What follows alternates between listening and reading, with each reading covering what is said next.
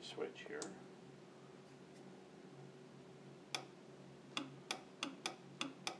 Relay's clicking when I push on the sensor switch, but the fan doesn't come on. So, I'm gonna test it here. At thirty, I've got twelve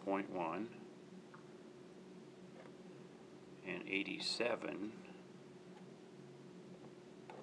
Eighty-seven, I got twelve point one, which is telling me I've got power coming through the relay, cause when I turn off the sensor switch, zero. Twelve point one. After, at point G, I got twelve point one. At point H, zero, which means it's on the positive side, so if I give it power, fan comes on.